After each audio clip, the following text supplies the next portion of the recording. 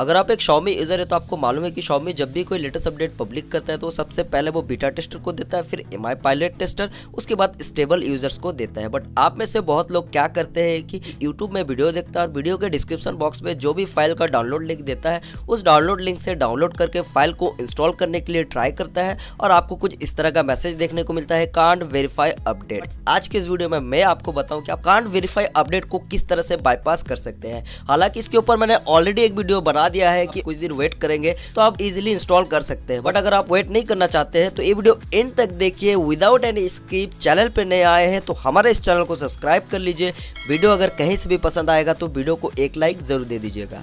अब एक चीज़ मैं आपको क्लियर कर देता हूँ कि ये जो वीडियो आपको एंड तक देखना है, क्योंकि कुछ छोटे छोटे ऐसे पॉइंट भी मैं आपको बताऊँगा, जो आपको जानना ज़रूरी है। अदरवाइज़ आपका इंस्टॉल का टाइम प्रॉब्लम कर सकता है। सबसे पहले हम लोग इसे ओके कर देते हैं बैक आ जाते हैं। बैक आने के बाद यहाँ पर आप देख सकते हैं मेरा जो डिवाइस ये है रेडमी नोट 8 और इसमें लास्ट वर्जन जो चल रहा है वो मी वाई ट्वेल्व का स्टेबल वर्जन अब यहाँ पे एक चीज़ नोटिस कीजिए आपको सबसे पहले जानना है कि आपका जो डिवाइस है वो ग्लोबली रन कर रहा है चाइना वर्जन में या इंडियन वर्जन अब कैसे आप पता कर सकते हैं इसके ऊपर ऑलरेडी मैंने वीडियो बना दिया है जो कि आई बटन में आपको मिल जाएगा। बट छोटा सा एग्ज़ाम्पल मैं इस वीडियो में भी आपको दे देता हूँ जैसे कि आप, आप देख रहे हैं जो कोड लिखा हुआ है R C O I N X M I N जैसे लिखा हुआ अगर आपका यहाँ पे एमआई है तो ग्लोबल है सीएन है तो चाइना है ईयू है तो यूरोपियन है आरयू है मतलब रशियन है। तो इस तरह से आप चेकआउट कर सकते हैं। अगर आपको इस कोड के बारे में पूरा वीडियो देखना तो आई बटन में आपको मिल जाएगा। तो आप उस वीडियो को भी चेकआउट कर सकते हैं। लेकिन उससे पहले इस वीडियो को देख लीजिए। अब यहाँ तक तो ठीक है कि आपने पता कर लिया कि आपका जो डिवाइस वो इंडियन रूम में रन कर रहा है। यहाँ पे जो लेटेस्ट वर्जन रन कर रहा है आपके डिवाइस में, जैसे कि मी वाई ट्वेल्व का स्टेबल वर्जन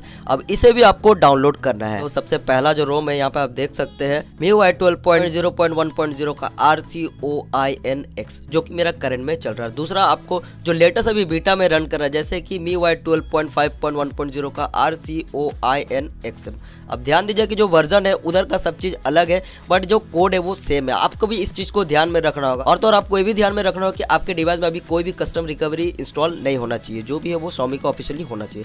अब आपको करना क्या है, वापस सेटिंग पे जाना है। डेटा कनेक्शन इनेबल कर लीजिएगा अदरवाइज़ ये वर्क नहीं करेगा। उसके बाद आपको सिंपली यहाँ पे यहाँ पे आने के बाद कंटिन्यू यहाँ पे टैप करना है। चार से पाँच बार। थोड़ा टाइम बाद यहाँ पे आपको additional update features are on लिखा हुआ आएगा। उसके बाद थ्री डॉट पे क्लिक कीजिए चॉइस अपडेट पैकेज उसके बाद आपको लोकेशन देना है कि आपने जो फाइल्स वगैरह डाउनलोड किया, वो कहाँ डाउनलोड करके रखा है, जैसे कि मेरा रूम में। अब यहाँ पे सबसे पहले आपको क्या सिलेक्ट करना है, जो आपके डिवाइस में अभी रन कर रहा है, जैसे कि MIUI twelve point zero point one point zero का R C O I N X M इसे हम लोग सेलेक्ट कर लेते हैं ओके कर लेते हैं। तो देखिए, अब यहाँ पे क्या बोल रहा है कि अगर आप इस रूम को अपडेट करेंगे तो यहाँ पे रिबूट एंड अपडेट मारिए। अब हमें रिबूट एंड अपडेट नहीं मानना है सिंपली हमें क्या करना है, यहाँ पे फ़ाइल मैनेजर पे जाना है। फ़ाइल मैनेजर पे जाने के बाद यहाँ पे जो हमने रोम का पाथ दिया था, यानी कि सेलेक्ट किया था, उस रूम को इस तरह से सेलेक्ट करना है। थ्री डॉट पे जाना है रीनेम पे क्लिक करना है। इस तरह से हमें होल्ड करना है, उसके बाद सेलेक्ट ऑल हो जाएगा और आपको इसे कट कर देना है और यहाँ पे आपको सिंपली इसे रीनेम भी कर देना है। कॉपी कर लेने के बाद ध्यान रहे, आपको कॉपी कर लेने के बाद ही रीनेम करना है। उसके बाद ओके कर दीजिए। अब यहाँ पे जो आपका मी वाई का स्टेबल वर्जन है, या आप जिस वर्जन को आप इंस्टॉल करना चाहते हैं, उस आपको इस तरह से क्लिक करना है रीनेम पे जाना है रिनेम कर लेने के बाद आपको सिंपली यहाँ पे सेलेक्ट ऑल करना है और जो नाम आपने कॉपी करके रखा है, उसे आपको इस तरह से पेस्ट कर देना। ओके कर दीजिए।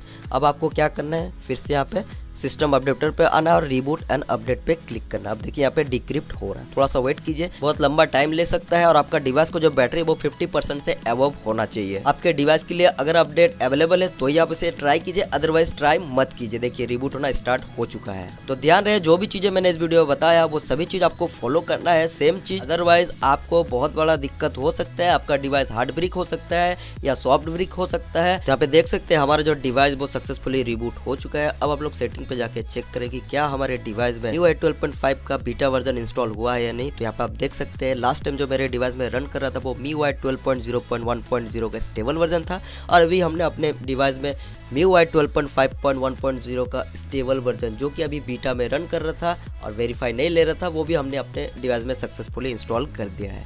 आप भी इजिली इंस्टॉल कर सकते हैं अपने किसी भी सौमी स्मार्टफ़ोन में बट वीडियो में मैंने जो भी चीज़ आपको मेंशन किया है, जो भी चीज़ें मैंने बताया, वो सभी चीज़ आपको फॉलो करना है। अदरवाइज़ आपको इंस्टॉलेशन में प्रॉब्लम भी हो सकता है। फिर भी अगर आपको कोई भी एरर देखने को मिल रहा है तो आप हमारे टेलीग्राम ग्रुप को भी ज्वाइन कर सकते हैं। मैं वहाँ पे आपका पर्सनली हेल्प भी करूँगा। इसी के साथ वहाँ पे आपको मी वाई या मी वाई से रिलेटेड लेटेस्ट अपडेट ज़रूर मिलेगा। तो अगर वीडियो पसंद आया है तो वीडियो को एक लाइक ज़रूर दे दीजिएगा। चैनल पे नए आए हैं तो हमारे इस चैनल को सब्सक्राइब कर लीजिए।